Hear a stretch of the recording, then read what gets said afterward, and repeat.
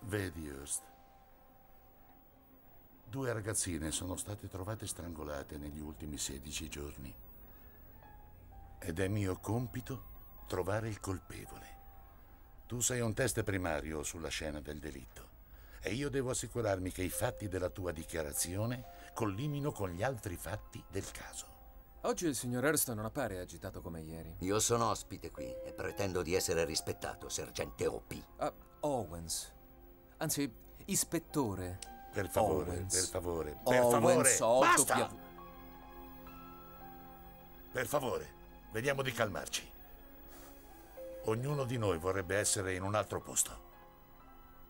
Dunque, Henry, se non ti dispiace, per favore, dici ancora una volta come trovasti il corpo della ragazza.